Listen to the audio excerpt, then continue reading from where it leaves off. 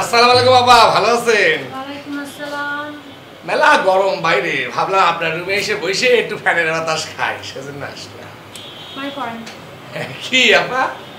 কি আপা? এখানে যে পানের বাটাটা রাখছিলাম ওটা বাইর করেন। আমি চাই আছি বাইর করেন। পানের বাটা ছিল নাকি এখানে? কি করছেন? এই সামান্য জিনিসটা চুরি করে আপনি কি করবেন কত দেন।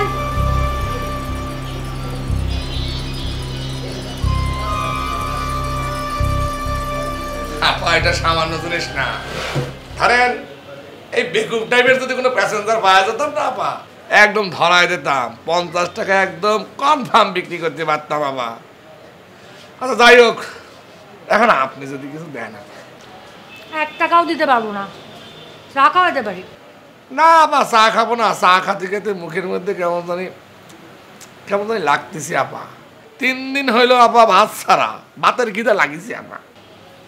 আচ্ছা খাওয়াবো না। পার্সেন্ট দেখা করতে? না না না ওই অফিসের মানুষগুলো জানি কিরাম আপা মানে সারাটা দিন বসায় রাখে স্লিপে নাম লিখে নিয়ে যায় তারপর কোনো খবর থাকে না। অপেক্ষা করতে করতে মনে করেন কখন যে ঘুমায় পড়ি তারপর কতক্ষণ পর পর আসি আহ্লাদ করে চা খাওয়ায়। তাও যদি একটা ভালো চা খাওয়াতো ঠান্ডা চা খাওয়ায় আপা ভালো লাগে না। আপনি যাতে বলেছেন? আপনি স্যারের সঙ্গে দেখা করতে চান?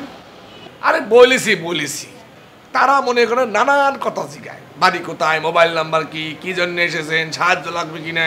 হাবি যাবি মেলা প্রশ্ন আবার এত ভালো লাগে না আমরা চোর বাটপার মানুষ। এত কথা শুনতে ভালো লাগে আবার আপনি কন। সব কিছু কি বলে দিচ্ছেন নাকি? না না আপা, আপনি বলেছেন না। জনে জনে কথা কওয়া যাবি না। তারা অবশ্য মেলা বড় আমার জিজ্ঞেস করেছিল। আমি বলেছি এসেছি যার কাছে এসেছি কথা তার সাথেই বলব দেখা যদি হয় তার সাথে বলব আপনার সাথে বলব কিসের জন্যে? কিন্তু দেরি তো করে ফেলাইতেছেন। মাঝখান থেকে অঘটনটা ঘটে যাবে কেউ কিছু টের পাবো না। দেশের ক্ষতি। এদিকে যে আমার কত বড় ক্ষতি হয়ে যাচ্ছে সেটা কিন্তু আবার আপনি একবার ভাবতেছেন না। আপনার আবার কিসের ক্ষতি? আরে কি কন আবার ক্ষতি মানে? রেল লাইনের পাশে বসে থাকি চামেসি কোনে এদিক সেদিক করে দুই চারটা পকেট মারি সারাদিন চলে যায়। কিন্তু ওই যে শুল্ক গোয়েন্দার অফিসে বসে কোনো কিছু তো করতে পারিনি। সবগুলার চোখ হচ্ছে শকুনের চোখ কোন সময় এসে ধরে ফেলায় কিরা জানে? বুঝেন না এটা ক্ষতি না? তবে আপনি যে কাজটা করতেছেন এই কাজটা মহান। এসব কথা শুনলে কি আমার পেট ভরবে? আমার পেট তো ভরবে না। আপনি আপা এত কথা বাদ দিয়ে আমার টাকা দেন আপা আমি তো ভাত খাব আপা। তিন দিন হয়ে গেছে দুপুরবেলা ভাত খেতে যাচ্ছে না আমার। আচ্ছা ঠিক আছে দিব না। কিন্তু ট্রেনের সময় হয়ে গেছে এখন না। আপনি বসেন। আমি হাতে কাজটা সেরে আসি।